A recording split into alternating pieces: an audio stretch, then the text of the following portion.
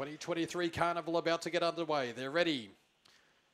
Racing, Chip Penny began brilliantly off the three, but had a bump with Secura Sky, and there's Legendary Spyro whipping around the outside to lead by five. Secura Sky to second, third Bear Blaster, fourth Kajal Rani. Three away, Chip Penny with it all to do, followed by Zulu Joy, Starlight Swift, and last of all, Key Piece in front, Legendary Spyro by three. Secura Sky tries hard, then comes Chip Penny, but holding on, Legendary Spyro, a length on the. There's Legendary Spyro whipping around the outside to lead by five. Secura Sky to second, third Bear Blaster, fourth Kajal Rani. Three piece in front, Legendary Spyro by three. Secura Sky tries hard, then comes Chip Penny, but holding on, Legendary Spyro, a length on the line, Secura Sky.